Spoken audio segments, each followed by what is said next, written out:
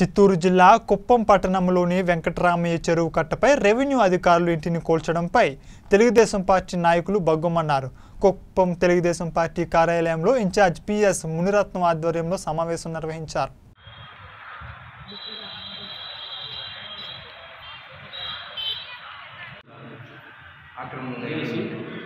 Shop compound వాళ్ళు CC road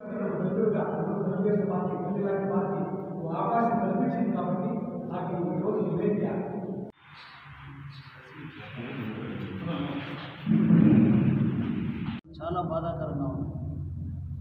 ఒక పేద దళితుడు అతను మునుస్వామి కమలమ్మ పేదవాడు చాలా నిరుపేదలు వాళ్ళు ప్రభుత్వమే శాంక్షన్ చేసింది వాళ్ళు పట్టా ఇచ్చారు హౌసింగ్ పట్టా ఇచ్చి హౌసింగ్ కూడా శాంక్షన్ చేసి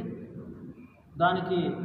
విద్యుత్ శక్తి కూడా తీసుకొని వాళ్ళ కాపురం ఉన్నటువంటి ఇంటిని కాపురం ఉండే ఇంటిని దారుణంగా కూల్చివేయడం అనేది చాలా బాధాకరం. అక్కడే ఇతర బ్రహ్మాండంగా ఇతర మంచి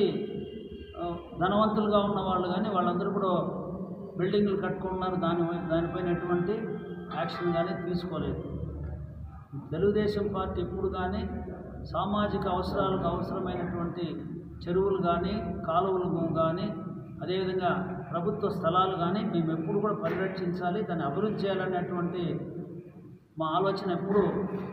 ఉన్నది కానీ కొంతమంది దాన్ని ఆక్రమించుకొని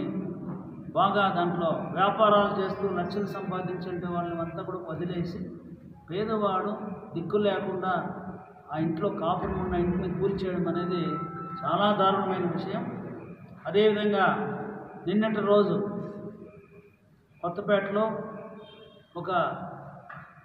బలహీన వర్గాలకు సంబంధించినటువంటి తెలుగుదేశం పార్టీ నాయకుడు స్వర్గీయ